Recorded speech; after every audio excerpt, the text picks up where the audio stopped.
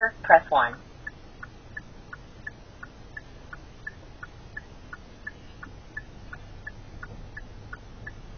We've sent a message to the device you're calling from to start support over messaging. If you would still like to speak to an agent, remain on the line. Please enter your four-digit account PIN now.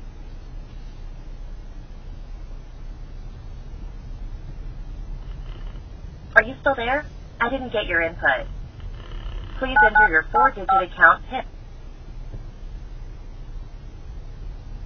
Sorry, this PIN number is not correct.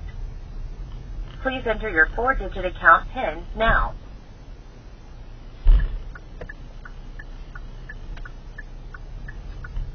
Are you still there?